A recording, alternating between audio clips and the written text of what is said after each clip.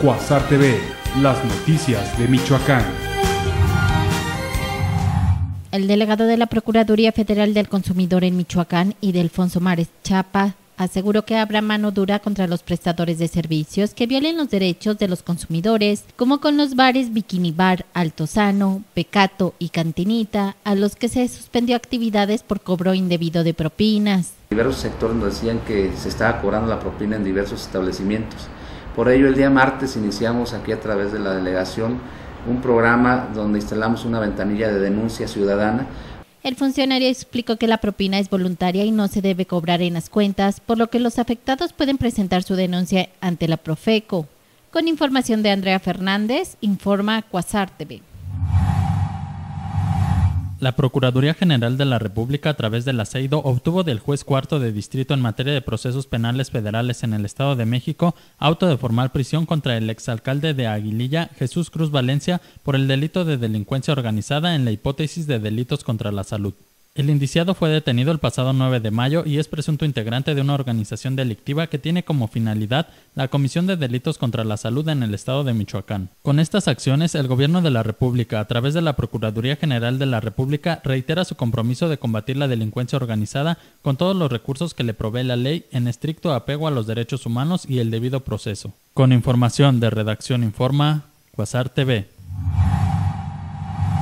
Con una inversión de 200 mil pesos, la semana que viene se dará el arranque oficial del proyecto de la Ruta de la Trucha y el Mezcal, en donde participarán restaurantes y otros negocios de cuatro tenencias, informó Luis Navarro García, secretario de Fomento Económico de Morelia. Principalmente estas dos rutas se lanzarán en una primera etapa en la parte eh, sur del, municipio de Morelia, en las tenencias de San Miguel del Monte, Jesús del Monte, Santa María, bueno, antes eh, eh, tener Santa María, lo que es la tenencia de Santiago Undameo. Comentó, se escogió esta región porque es principalmente donde se produce el mezcal y existe un buen número de productores. En esta primera etapa solo cuatro de las siete vinatas participarán. Con información de Felipe Bárcenas informa Guasar TV. En Michoacán, un profesor valió a un estudiante frente a decenas de personas que realizaban diversos trámites en las oficinas centrales de la Secretaría de Educación en el Estado. Según testigos, el joven Héctor Manuel Maldonado Lizárraga, de 23 años de edad, estudiante del Centro de Actualización Magisterial de Michoacán, estaba parado frente a la dirección de personal cuando llegó el profesor Homero Hernández López, de 45 años, y sin mediar palabra le disparó en tres ocasiones. El joven cayó al piso con una herida de bala en el cuello, otra en un glúteo y otra más en una pierna mientras su agresor intentaba darse a la fuga, pero cinco personas que corrieron tras él lograron detenerlo cuando abordaba una combi del servicio público. Para Cuasar TV, Sandra Sáenz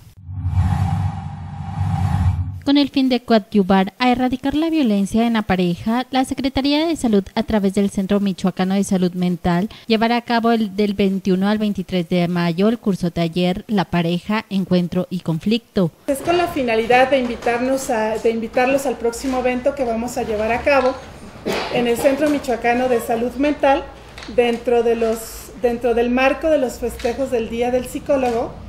Vamos a llevar a cabo un curso taller que lleva por título La pareja, encuentro y conflicto.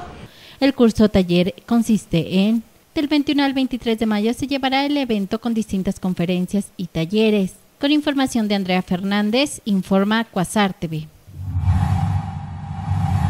Un 80% de los habitantes de la tenencia de Teremendo de los Reyes están desempleados. Por eso el Ayuntamiento de Morelia está impulsando proyectos productivos como el de fabricación de tabicón en el que participa Austreberto Soria Ramírez y otros 19 vecinos. El proyecto consiste en la construcción de la fabricación de, de tabicón, blog, eh, y, sus derivados. Dijo que la tenencia de Tremendo es una de las más marginadas del municipio, por lo que ante el desempleo ha buscado otras opciones como este proyecto que apoya el ayuntamiento. Con información de Felipe Bárcenas informa Cuasar TV.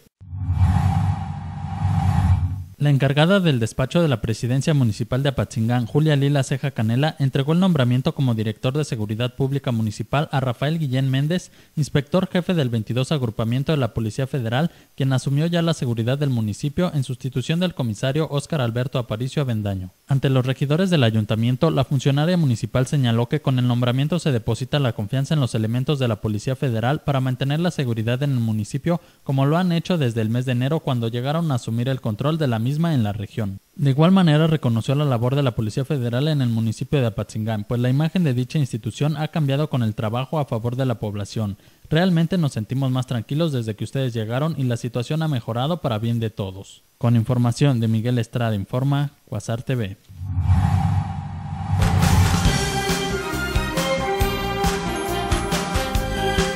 TV, las noticias de Michoacán.